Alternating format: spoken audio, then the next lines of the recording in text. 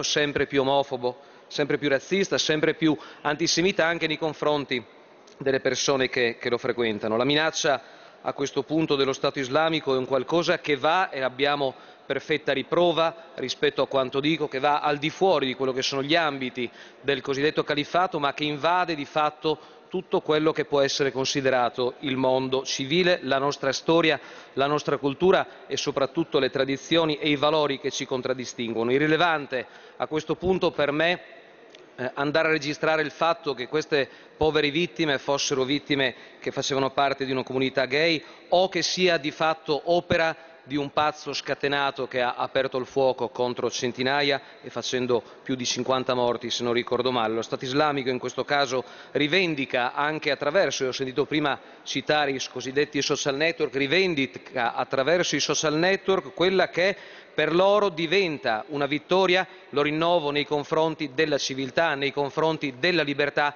e nei confronti di persone libere che di fatto dovrebbero, e uso purtroppo il condizionale, essere legittimate a fare un po' come vogliono, ma in questo caso purtroppo non è accaduto. Grazie. Grazie a lei. È iscritto a parlare onorevole Palese, ne ha facoltà.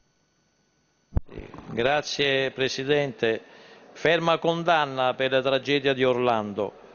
Una grande tragedia ci è provocata dall'odio e dalla mano di uno squilibrato sicuramente di un assassino. Sono stati colpiti valori fondamentali, cioè come la libertà, valori che riguardano la sfera dei diritti individuali. Ha vinto l'odio, non c'è dubbio. Odio c'è che bisogna fermare cioè ad ogni costo. Bisognerebbe veramente fermarsi, quasi tutto il mondo occidentale, riflettere su come l'Occidente si deve attrezzare per contrastare simili violenze. Esprimiamo la nostra solidarietà al popolo americano, alle famiglie delle vittime e dei molti feriti. L'auspicio c'è che i 50 morti di Orlando servano veramente a far sì che tragedie del genere non debbano più né accadere né ripetersi. Grazie. Grazie a lei. È scritto a parlare onorevole Nainati, ne ha facoltà.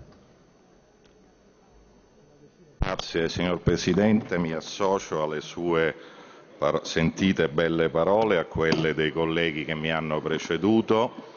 Mi trovavo eh, negli Stati Uniti proprio in quelle ore della strage di Orlando e posso portare la mia testimonianza diretta su quanto a New York ci sia stato uno shock per quello che era avvenuto in Florida, ma questo shock purtroppo è più una condizione